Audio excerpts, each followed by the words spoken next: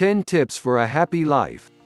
These life coaching tips are in no particular order, they are just listed 1 to 10 for ease. 1. Try stepping outside your comfort zone once in a while.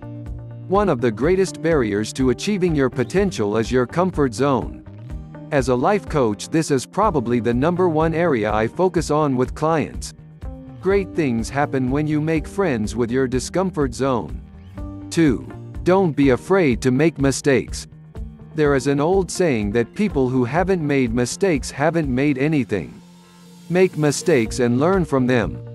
3. Be aware of any negative thoughts you hold about yourself. Challenge them, are they really true? If so, what is the evidence? Are you giving yourself a hard time? I guarantee you that you are your harshest critic. Cut yourself some slack. This is probably the second most common area I work whilst coaching clients. 4. Make an effort to try and look on the bright side of things. I know it sounds cheesy but sometimes it comes very easy to us to be critical or negative, almost habit-like.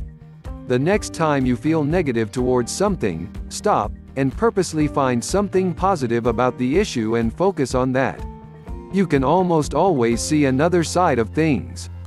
It just depends where your bias is. 5. Read some good uplifting books. There are some excellent biographies out there by all sorts of people, successful people, rags to riches people and people who have overcome huge obstacles in life.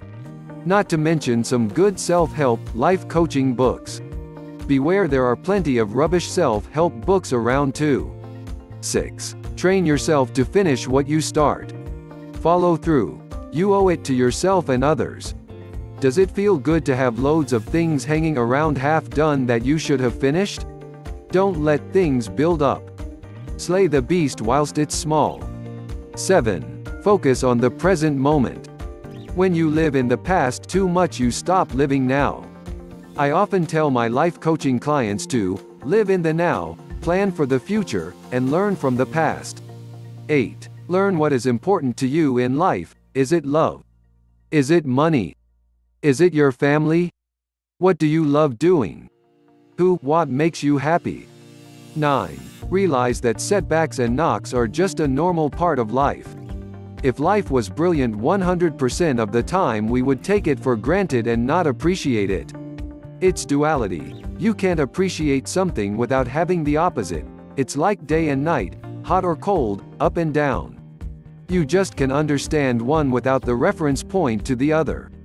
It's exactly the same with good and bad.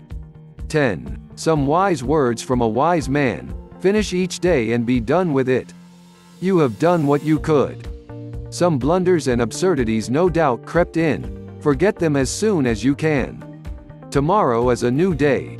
Begin it well and serenely and with too high a spirit to be encumbered with your old nonsense. Ralph Waldo Emerson